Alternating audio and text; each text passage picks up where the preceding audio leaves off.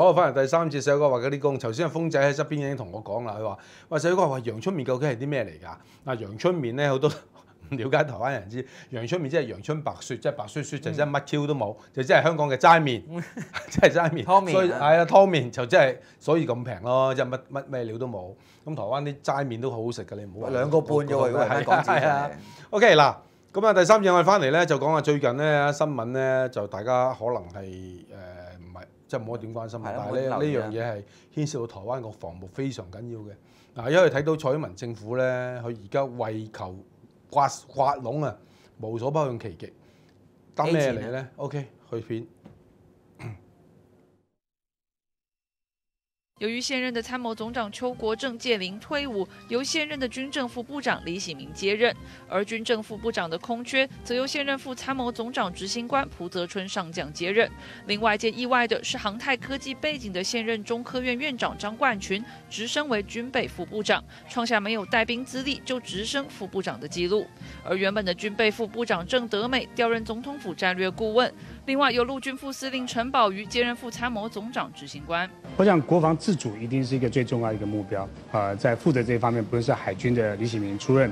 啊这个参谋总长，或者是啊中科院院长来接任啊军备副部长等等，都可以看得出来，我们对国建国造、国机国造这样国防自主的目标是很清楚的。他的意志要透过啊这个官位分封的方式来遂行，这个我们也没办法反对。但是呢，我们还是要提醒蔡总统啊，这个整个部队的士气啊，绝对不是只有军备而已，也不也不是只有武器而已啊。军队士气的带领啊，有赖三军统帅们的以身作则。